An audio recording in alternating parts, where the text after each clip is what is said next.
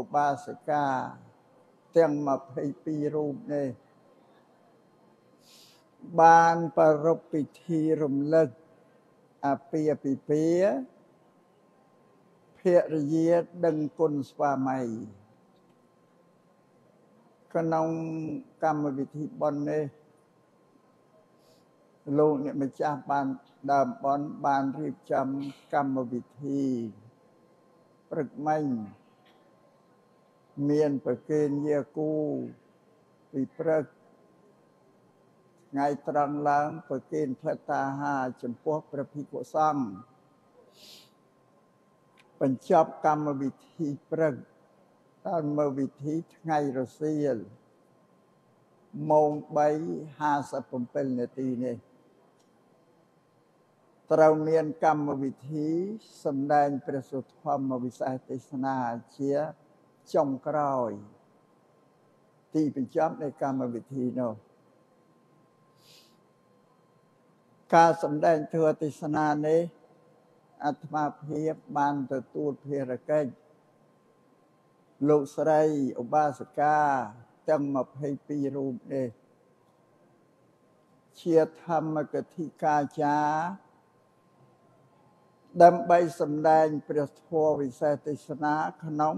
កម្មវិធីបន់រំលឹកអាពាហ៍ពិពាហ៍និងភរិយាដឹងគុណស្មារតី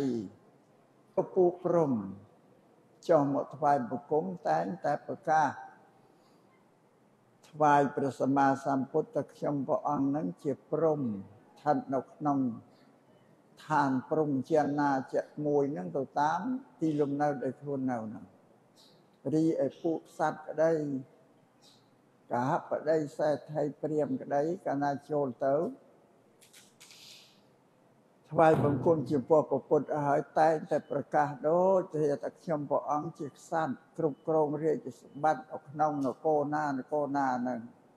ឬក៏ជាគេហបតីនាមឈ្មោះអីនៅស្រុកណាគឺជាសេដ្ឋីប្រកាសប្រាប់យ៉ាងគ្រប់ នេះប្រវេណីនេះមិនមានត្រឹមតែពុទ្ធសម័យទេសំបីដល់បច្ចុប្បន្នសប្តាហ៍ថ្ងៃនេះនៅលើពិភពលោក គ្រប់ប្រទេសទាំងអស់កាលណាមានពិធីអ្វីមួយ ហើយមានតំណាងរដ្ឋាភិបាលឬក៏ ជាអ្នកប្រាជ្ញបណ្ឌិតណាមួយដែលចូលមកក្នុងកម្មវិធីនោះគេតែតែឧទ្ទិសនាមដូចគ្នាថាក្នុងកម្មវិធីបុណ្យនេះមានឯកឧត្តមនាមនេះឈ្មោះនេះមកជាគណៈអធិបតីតែប្រកាសប្រាប់ឲ្យពវិនីនឹងមានរៀងរហូតតដល់មកបច្ចុប្បន្ននេះអាស្រ័យនេះក្នុង ឱកាសនេះអាត្មាក៏ត្រូវតែឧទ្ទិសនាមជូនញោមញាតពុទ្ធបរិស័ទឲ្យជ្រាបហើយដឹងថាអាត្មានឹងជាអ្វីធម្មកថាដែលសម្ដែងធ្វើទេសនាសូមជម្រាបថាអាត្មានេះជាអ្នកបំរើប្រពន្ធបើពោលជាភាសាបាលីថាពុទ្ធទេសៈទេសៈគឺអ្នកបំរើ កាលព្រះសម្មាសម្ពុទ្ធទ្រង់គង់ធរមាននៅឡើយ មានព្រះមហាអនន្តថេមួយរូបដែលជាពុទ្ធឧបថៈជាអ្នកនៅជិតចិត្តព្រះបវរកាយនៃព្រះសម្មាសម្ពុទ្ធព្រះមហានន្ទនេះបានទទួលការតែងតាំងអំពីព្រះសម្មាសម្ពុទ្ធព្រះអង្គតែងតាំងជាពុទ្ធឧបថៈ ហើយព្រះអង្គប្រកាសប្រាប់ដល់ព្រះសង្ឃនៅក្នុងសាសនមណ្ឌលនឹងឲ្យបានដឹងគ្រប់រូបទាំងអស់ដើម្បីនឹងទទួលស្គាល់ព្រះអង្គប្រកាសថាព្រះអង្គបានតែងតាំងព្រះអនន្តនឹងជាពុទ្ធឧបថៈជាអ្នកបម្រើផ្ទាល់ចំពោះព្រះសង្ឃនៅក្នុងសាសនមណ្ឌលនេះទាំងអស់ព្រះមហាអនន្តដែលជាពុទ្ធឧបថៈនេះ គឺបំរើកិច្ចការសពបែបសពយ៉ាងទាំងអស់ក្នុងវេលាណាដែលព្រះសម្មាសម្ពុទ្ធព្រះអង្គទ្រង់មានភារកិច្ចអ្វីមួយហ្នឹងការបំរើរបស់ព្រះអនន្តតាំងពីគក់ស្បង់ចៃវរឡើងទៅរៀបចំផាត់ថ្វាយចំពោះព្រះអង្គឬក៏មាន អ្នកណាមួយដែលចូលថ្វាយគុំព្រះអង្គតែងតែប្រើអនន្តនឹងឲ្យទៅរិទ្ធិស្វាគមន៍នេះសម្រាប់ព្រះអនន្តសម្រាប់អាត្មាភាពដែលជាអ្នកបំរើប្រពុតនេះអត់បានទទួលការតែងតាំងពីព្រះសម្មាសម្ពុទ្ធទេព្រះព្រះអង្គទ្រង់បរិនិព្វានកន្លងផុតទៅហើយ ម្លោះហើយការដែលប្រកាសខ្លួនជាអ្នកបំរើប្រពុតនឹងដោយសេចក្តីជ្រះថ្លាចំពោះព្រះពុទ្ធសាសនា មានព្រះសម្មាសម្ពុទ្ធជាប្រធាន ហើយក៏បានបូជាកាយថ្វាយជីវិតចំពោះពុទ្ធសាសនាការដែលបានបដិញ្ញាជាអ្នកបម្រើនេះ គឺក្នុងនាមក្រិនតែនាំសាសនធម៌ជាពាក្យទូលមានព្រានបដៅរបស់ព្រះសម្មាសម្ពុទ្ធដែលមានចំនួន84000ដែលមាន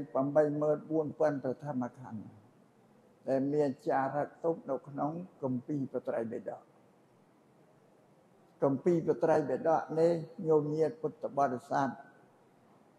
ជាអ្នកជ្រះថ្លានឹងពុទ្ធសាសនានេះស្គាល់ឈ្មោះ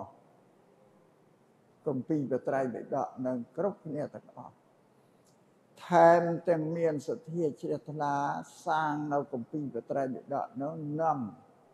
ទៅប្រគេនព្រះសង្ឃគ្រប់វត្តគ្រប់អារាមទាំងអស់ដើម្បីឲ្យលោកបានសិក្សារៀនសូត្រសម្រាប់ញោមញាតពុទ្ធបរិស័ទ អត់ដែលបានអានអត់ដែលបានទន្ទិញនៅពុទ្ធវចនៈដែលជាសាសនធម៌នោះទេគ្រាន់តែដឹងថាឈ្មោះកំពីបត្រៃវិដកតែប៉ុណ្្នឹងឯងម្ល៉េះញោមញាតពុទ្ធបរិស័ទគ្រប់រូបទាំងអស់អត់បានដឹងអត់បានយល់អីអំពីពុទ្ធសាសនានឹងតើតែសោះញោមញាតជ្រះថ្លានឹងពុទ្ធសាសនាក៏ពិតមែន ប៉ុន្តែការគោរពបដិបត្តិរបស់ញោមញាតសម្រាប់ពុទ្ធសាសនានឹងគ្រាន់តែជាប្រពៃណីទំនៀមទម្លាប់តតគ្នាតាមពុយវងពងត្រកូលរហូតដល់មកបច្ចុប្បន្ននេះដឹងថាទៅវត្តយកចង្ហាន់ទៅប្រគេនព្រះសង្ឃតែការ យកចង្ហាន់ទៅប្រគេនព្រះសង្ឃក៏មិនដឹងថានឹងបានផលបានអានិសង្ឃអីយ៉ាងម៉េចក៏អត់ដឹងដែរគោរពទៅអស់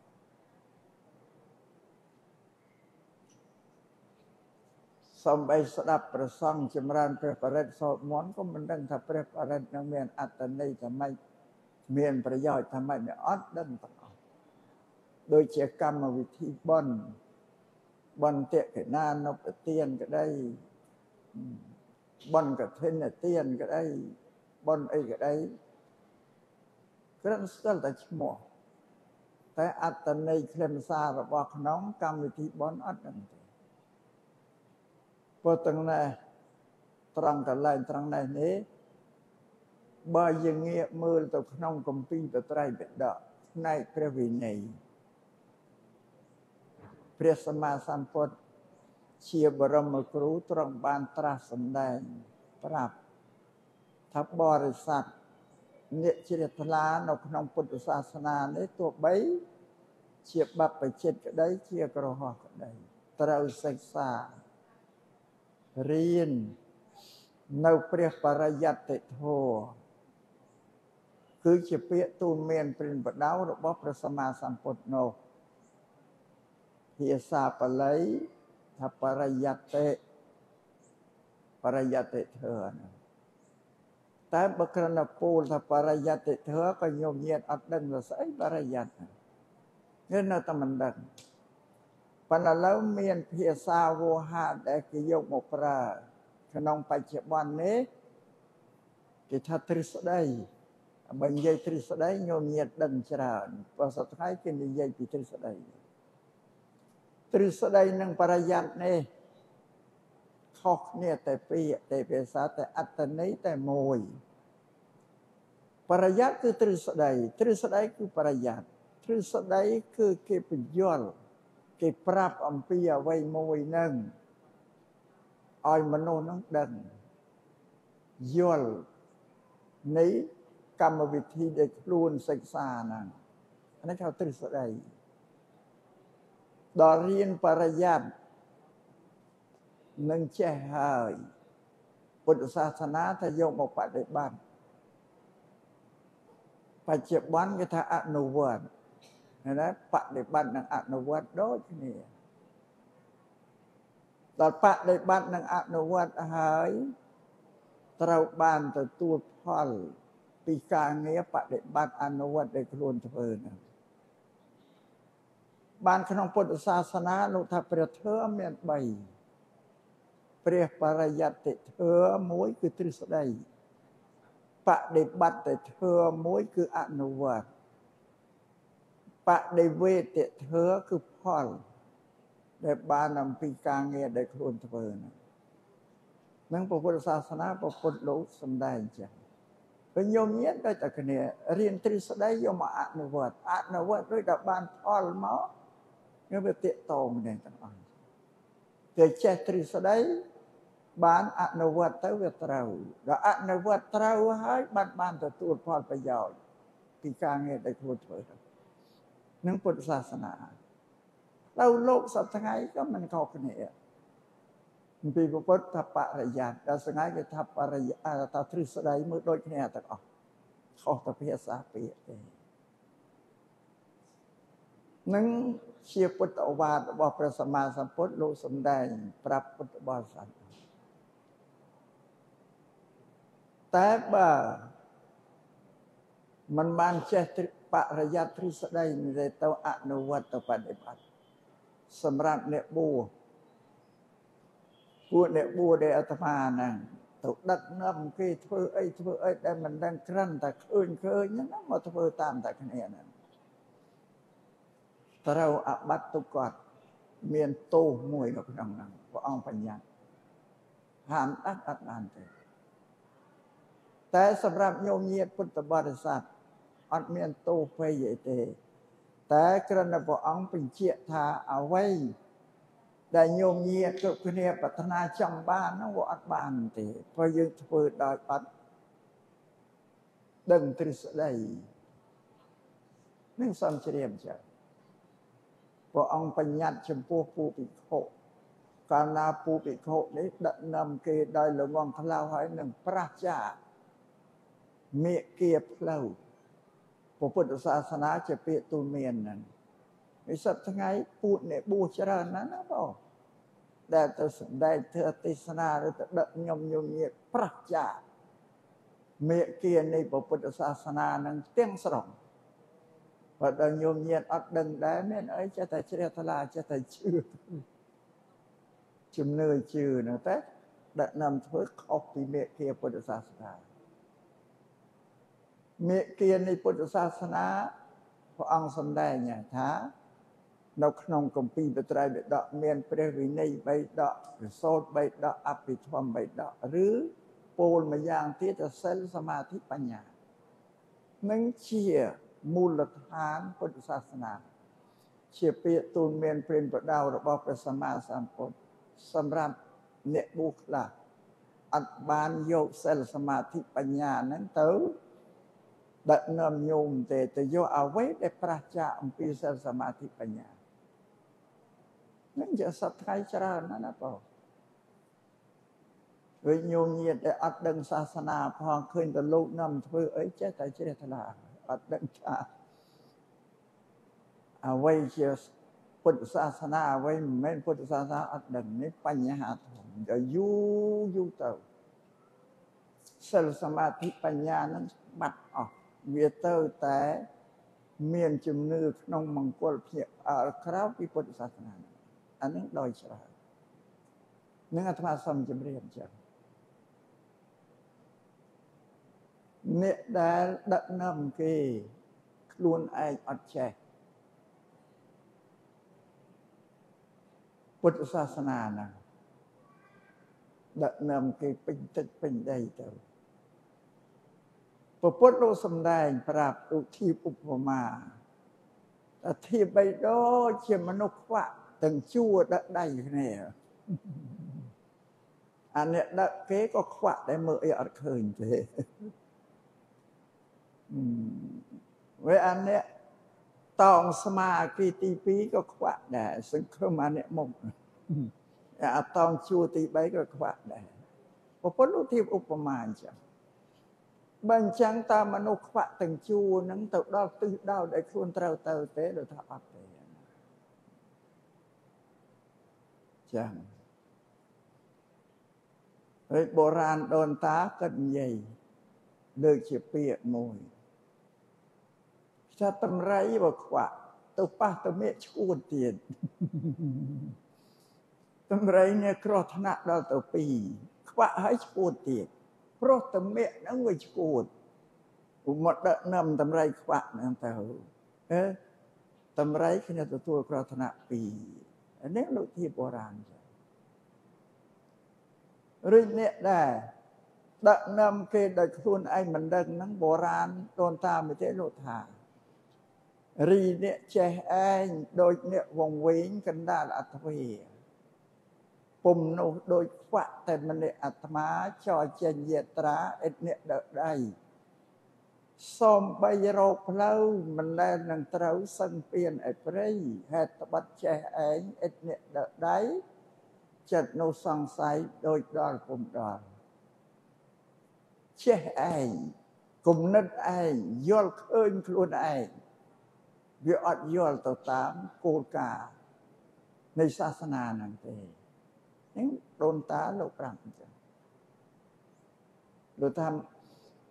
ដូចមនុស្សខ្វាក់ដើរទៅកណ្ដាលអធិវាហ្នឹងអធិវាគឺព្រៃធំទៅជ្រៅរុកទៅកណ្ដាលព្រៃមិនដឹងទិសតំបន់ណាអត់មានណាដឹកដៃទៅដល់ទិសដៅដែលខ្លួនទៅហើយដល់ហើយនៅតែសង្ស័យទៀត យីនឹងកន្លែងដែលអញមករត់ហ្នឹងទៅដល់ទិសនៅសង្ស័យទៀតនឹងផលវិបាកតែសំយមញាតពុទ្ធបរិស័ទយល់ដឹងច្បាស់ចាំថាប្រពន្ធលោកថាតលរៀនសូត្រទ្រឹស្ដីបរិយ័តឲ្យចេះសិនសំបដិបត្តិទៅដឹកនាំគេក៏ត្រូវតែចេះទ្រឹស្ដីដែរនឹងប្រពន្ធលោក បញ្ញត្តិចឹងផងតែញោមញាតពុទ្ធបរិស័ទអត់បានសិក្សារៀនសូត្រទេសោះអាត្មាចេះតែកើតសេចក្តីសង្វេគក្នុងចិត្តសំណោះអណិតញោមញាតពុទ្ធបរិស័ទញាក់កាន់ពុទ្ធសាសនាអត់ដឹងថាពាក្យទូលមានពេលបដាពុទ្ធយ៉ាងណានោះគឺអត់ដឹងទេ ចេះតែណាត់សំណចឹងម្ល៉េះហើយអ្វីដែលញោមញាតចង់បានវាអត់បានសម្រាប់ទៅតាមទឹកចិត្តរបស់ខ្លួនដែលចង់បានហ្នឹងបានអាត្មាទេសនាគ្រប់តកម្មវិធីបន់សំបីតែមានញោមញាតមកថ្វាយបង្គំនៅក្នុងកត់ មកតែងតែលើកពុទ្ធសាសនាពាក្យទូមានព្រាមបដៅរបស់ពុទ្ធនឹងទៅជាអត់ប្រាប់សម្លឹងមើលបរិស័ទដែលមកនឹងសមអឺ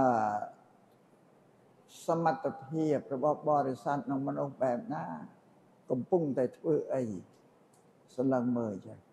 ក៏លើកយកអវាទរបស់ពុទ្ធនឹងទៅបញ្យល់ប្រាប់ឲ្យដឹង សំបីតែឪពុកម្ដាយនាំកូនមកក៏បញ្យល់ទាំងម៉ែទាំងឪទាំងកូននឹងឯងហើយយល់ថាម៉ែឪប្រពន្ធលោកបញ្រៀនឲ្យធ្វើអីខ្លះសម្រាប់កូននេះបញ្យល់កូនថាឲ្យធ្វើអីខ្លះសម្រាប់ម៉ែឪនៅភគីទាំងពីរបញ្យល់ចឹងលើកយកអវាទរបស់ព្រះសម្មាសម្ពុទ្ធមកបង្រៀនមកប្រាប់អីដឹងចឹងដើម្បីឲ្យស្គាល់មេគានៃពុទ្ធសាសនាតែងតែបញ្យល់អញ្ចឹង វិទេសនាក៏ដូចគ្នាដែរលើកយកតែពីអវាទរបស់ពុទ្ធនោះមកសំដែងប្រាប់ដោយត្រង់ត្រង់ហ្នឹងមករួចអាត្មានឹកឃើញថាញោមញាតពុទ្ធបរិស័ទ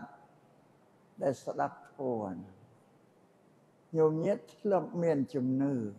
តតគ្នាមក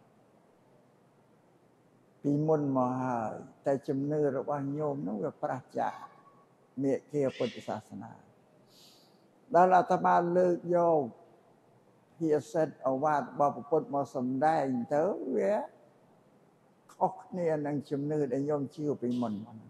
អាគេវាផ្ទុយគ្នាអានឹងរមែងធ្វើឲ្យញោមញាតអត់សប្បាយចិត្តទេជួនកាលក៏មានចិត្តនឹងស្អប់អាត្មាទៅទៀត ជួនកាលក៏ខឹងទៅទៀតវាអាចអញ្ចឹងក៏មានព្រោះអាត្មាសំដែងអីជាធัวដែលញោមមិនធ្លាប់បានឮហ្នឹងញោមធ្លាប់បានដឹងនៅស្គាល់ច្បាស់ឲ្យជាប់ក្នុងចិត្តងាយបេះបានទេណាបងហើយវាផ្ទុយទេចឹង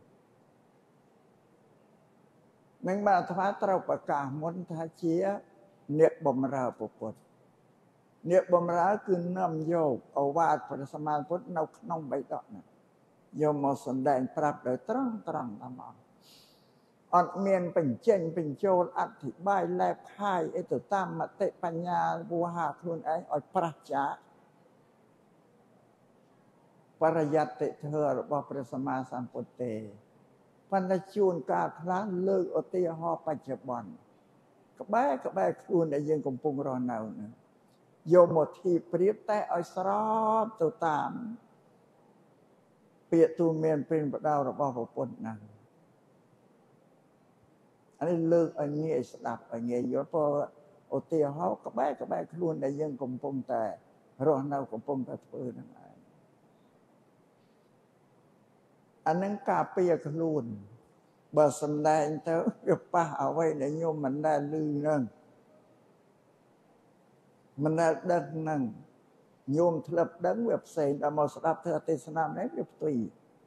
បើអញ្ចឹងវាអាចប្រតិកម្មបើអញ្ចឹងសំ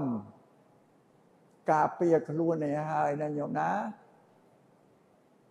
បើសិនណាអាត្មាសំដែងទៅហើយវាមិនកើតទឹកចិត្តរបស់ញោមយាពុទ្ធបរិស័ទទេអ្នកដែលស្ដាប់ បើតូចចិត្តអន់ចិត្តកុំខឹងនឹងអាត្មាតាមបានទេសួរញោមសួរទៅចុះបើមិនខឹងនឹងបំរើប្រពុតនឹងតើខឹងនឹងអ្នកណាថាបើតាមហេតុតាមផលខឹងប្រពុតព្រោះអាត្មាថាតាមប្រពុតណាតាមបានទេញោមណាវាមានហេតុមានផលអាត្មាថាតាមអ្នកណាត្រូវខឹងនឹងអ្នកដែលថាមុននេះការពីអញ្ចឹងហើយ អញ្ចឹងប៉ុណ្ណឹងយោគេដល់ប្រកាសខ្លួនឲ្យដឹងថាជាពុទ្ធទេសៈទេជាអ្នកបំរើព្រះពុទ្ធទេនាំយកពាក្យទូលមានព្រិនបដៅរបស់ព្រះពុទ្ធមកប្រាប់ញោមដោយត្រង់ត្រង់ឲ្យដឹងកុំថាឡើយដល់ទៅពាក្យដែលវាជ្រៅទូលំទូលាយ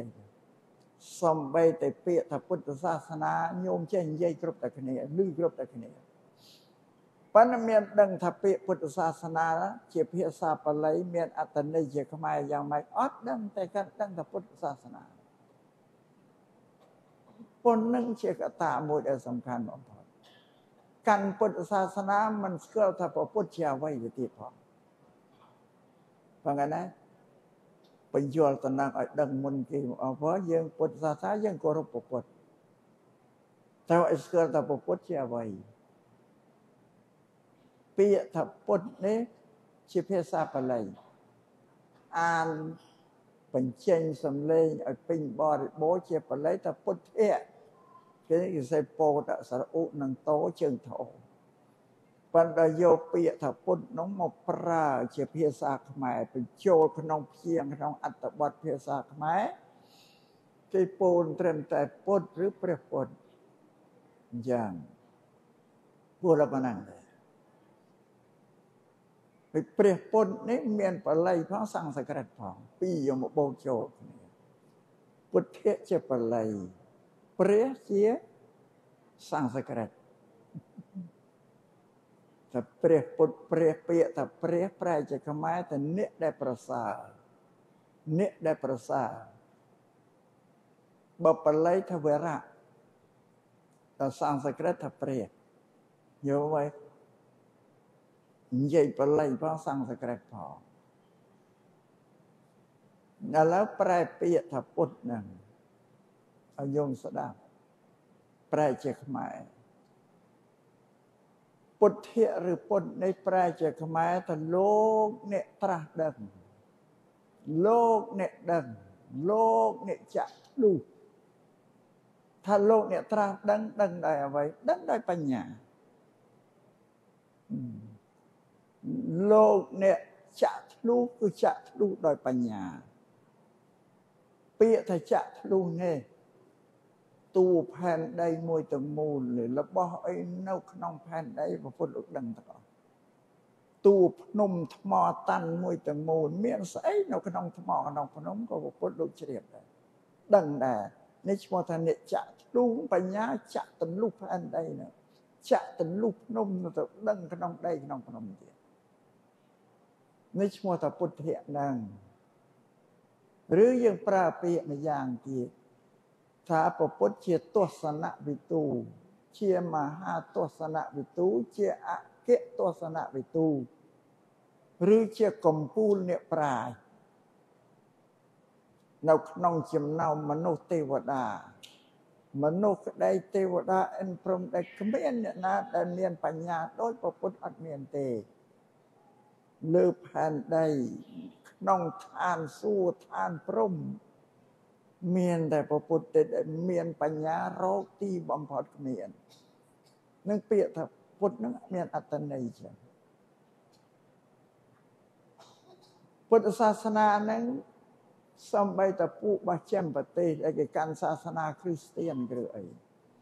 ដល់គេបានអានពុទ្ធរៀនពុទ្ធសាសនាទៅ គេឃើញប្រវត្តិរបស់ពុទ្ធឃើញទ្រឹស្ដីរបស់ពុទ្ធដែលលោកសំដែងគេថាពុទ្ធនឹងជាកំពូលអ្នកប្រាជ្ញនៅលើលោកនេះហើយពាក្យទូលមានព្រិនបដៅរបស់ពុទ្ធវាស្របទៅតាមអ្នកវិទ្យាសាស្ត្របច្ចុប្បន្នព្រោះវិអ្នកវិទ្យាសាស្ត្របច្ចុប្បន្ននេះគេខំស្រាវជ្រាវរាវរោគ វត្ថុដែលកើតនៅលើដីនឹងស្អីអ្វីទាំងអស់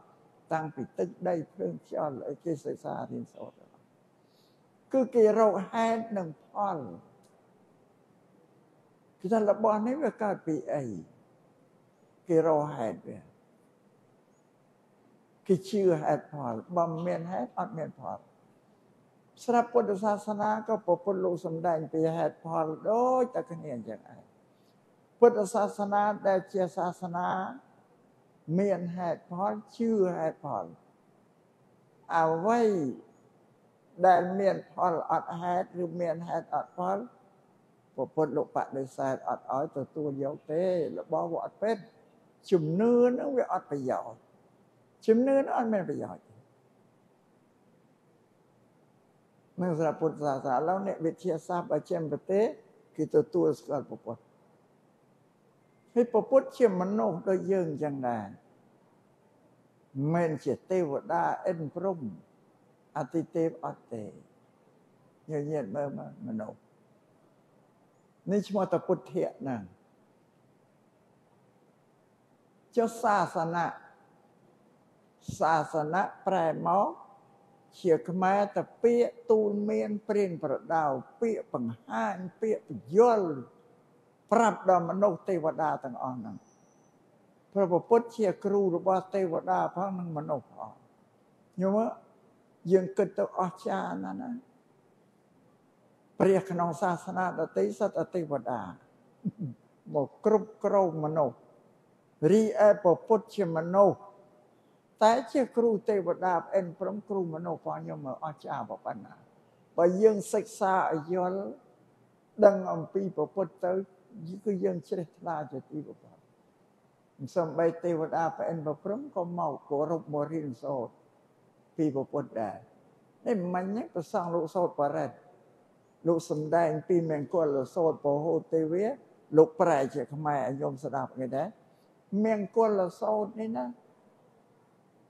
មនុស្សនិងទេវតាកើតកលាហល់ពីដណ្ដាប់ឆ្នាំរោគមង្គលវាមិនឃើញ ថាមង្គលសេចក្តីសុខចម្រើនជោគជ័យសួស្តីដល់ជីវិតមនុស្សហ្នឹងតើពីស្អីវាមានមនុស្សច្រើនក្រុមនៅទៅចែកគ្នាឆ្លោះគ្នាមកក្រុមនៅប្រកាន់តែមង្គលនៅក្នុងភ្នែក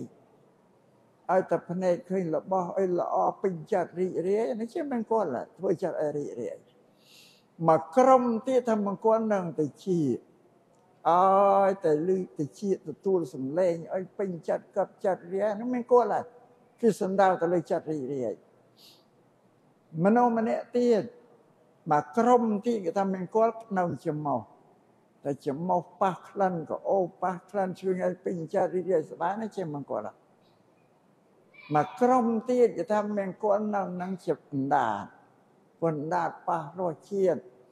មកហូបអាហារអីទៅ ពេញចិត្តត្រូវចិត្តនេះសប្បាយជាមង្គលអានេះចឹងមនុស្សមួយក្រុមទៀតនៅឥណ្ឌាពួកអ្នកកាន់សាសនាព្រាហ្មណ៍គេគោរពគោគេថាទៅយកអាចគោមកកំឡោចឲ្យកើតឲ្យខ្ជូងយកមកចិញ្ចឹមថ្ងៃអានឹងមិនគួរស្រីសួស្ដីគេតែវិចារណែអានឹងនិយាយពីមង្គលហ្នឹងទៅជែកគ្នាកើតក៏ឲ្យយើងវិនិច្ឆ័យ អត់បានជួបនឹងមង្គលទេបានពពុទ្ធថាកិរិយាមិនខ្សែគប់នឹងជន់ពៀលនឹងមួយតែទៅខ្សែគប់នឹងពៀលវានាំឲ្យខូចប្រយោជន៍មិនខ្សែគប់គឺជៀសចេញអត់ទៅចិត្តពូពៀលទេមនុស្សល្ងងណាកិរិយាខ្សែគប់នឹងបណ្ឌិតមួយបណ្ឌិតគឺអ្នកចេះដឹងអ្នកមានបញ្ញាសិក្សារៀនសូត្រ ច្រើនតែគេមានបញ្ញាគេយល់ត្រូវគេប្រាប់យើងគេបញ្យល់យើងគេបញ្រៀនយើងតាមពីហេតុផលនឹងឯងកិរិយាបូជាដល់បុគ្គលដែលគួរបូជាមួយ បូជាការថ្វាយការអោយការជូននោះមានពីរមួយអមិសបូជាការប្រគេនជូនដោយគ្រឿងមហូបអាហារបច្ច័យ4ហ្នឹងទី2ធម្មបូជាបូជាដោយការស្ដាប់ ធ្វើឲ្យស្ដាប់ពាក្យទូលមានព្រិនបដៅលោកជាបណ្ឌិតបញ្ញវន្តហ្នឹងឯងនេះលោកថាជាមង្គលខ្ញុំគិតមើលអលក្ខណៈ3យ៉ាងហ្នឹងគឺត្រឹមត្រូវណាស់ពុទ្ធលោកសំដែងកិរិយាមិនសែបគប់នៅមនុស្សរងហ្នឹងកិរិយាសែបគប់នឹងជន់ជាបណ្ឌិតមួយបូជាដល់បុគ្គលដែលគូបូជានេះកើតសេរីសុស្ដីដល់យើងអ្នកដែលបានទៅ ប្រព្រឹត្តហ្នឹងអានឹងមិនគល់អញ្ចឹងមិនគល់សរិសុស្ដីមិនមែនកើតពីបន់ស្រន់ពូងសួងមិនមែនកើតពីបារមីទេណាញោមណាអានឹងមិនមែនណាមិនគល់ពុទ្ធលោកថាហ្នឹងមិនគល់មិនគល់ដែរបើមិនគល់ភ្ញាក់ផ្អើលវាភ្ញាក់ផ្អើលតាមតែគ្នាទៅអត់តែគលីថាអីប្រកែក៏ប្រកែទៅកាលអាត្មានៅពីក្មេងក្នុងអង្គរធំ មានដើមកលាញ់មួយដើមពវដោសដល់ទៅខ្យល់ធំដល់ខ្យល់ធំទៅរលំដួលដល់ដួលគេទៅគេទៅកាត់កាត់ដើមធំមកនៅសល់គល់វាឬអត់ដាក់ទៅក្រោកឈរឡើងគេថាអូនៅកលាញ់ក្រោកហើយកលាញ់នៅក្រោកដងមាត់ស្រះងំ គ្នាទៅស្កាប់យកដើមកលាញ់ទៅអស់លលីអាទឹកក្នុងស្រះហ្នឹងក៏ដកយកអស់លលីអានេះក៏មានគាត់ប្រាប់អស់ជឿថាស័ក្តិសិទ្ធឃើញទេដួលដែរកាន់គេកាត់ដើមទៅអារិះដែលវាដាច់នៅនោះដល់វាស្រាលទៅវាទាញគល់ឲ្យឈោចេះបាំងតែកលាញ់ក្រោមអានឹងមួយសម្រាប់អ្នកមានបញ្ញាគេទៅពិនិត្យមើលវាមានអីប្រកែ សាគេកាត់អាដើមវែងចង់ចោលនៅគល់វាស្រាលអារិះដល់ជានោះប្រឹងទាញឲ្យឈរឡើងចាណានឹងហើយទៅជឿទៅកាប់យកដើមកលាញ់ស្ទាស់យកទៅតែអស់លលីងអស់ទាំងទឹកស្រះនឹងទៀតក្នុងមាត់ស្រះព្រះពិធូនោះណាញោមណាដងមាត់ស្រះហ្នឹងអាត្មាពីក្មេងអាហ្នឹងអាមង្គលជាប្រអើ ឃើញអាគាត់កលាញ់ទៅក្រោតដល់តាហ្នឹងប្រកែអាហ្នឹងมันមានប្រយោជន៍ទេ សម្រាប់ពពុទ្ធលោកបដិសេធអត់ទេមង្គលជាប្រអើអានេះដោយសារអត់បញ្ញាហ្នឹងឯងដល់គេមានបញ្ញាគេទៅពិនិត្យមើលអាហ្នឹងឃើញហេតុឃើញផលនៅសំញោមនិយាយជ្រាបចឹងនឹងនិយាយពីអ្នកមានបញ្ញា ព្រោះប្រពន្ធលោកមានបញ្ញាគ្មានទេស្អីក៏លោកយល់លោកដឹងដែរដោយហេតុផលចឹងបាននេះจะពុទ្ធសាសនាប្រែតពាកទូនមានព្រានប្រដៅលោកអ្នកត្រាស់ដឹងលោកអ្នកប្រាជ្ញតើលោកប្រាប់អីរបស់នោះវាពេញឲ្យលោកយល់ហេតុផលអានោះនេះសំយើងញាតិជានេះនិយាយពីពុទ្ធសាសនាណា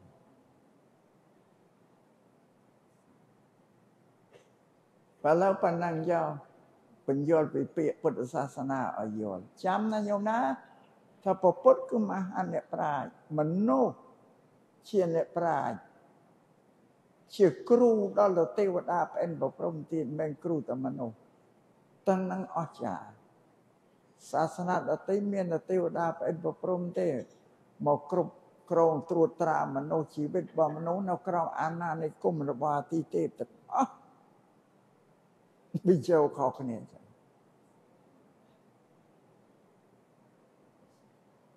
បញ្យល់ពីពាក្យទៅពុទ្ធសាសនាប៉ុណ្ណឹងឲ្យដឹងប៉ុណ្ណឹងតែគោលចរិតនៃសាសនាដែលយើងគោរពបដិបត្តិឥឡូវបង្វែរបង្វិលមកកម្មវិធីបន់វិញ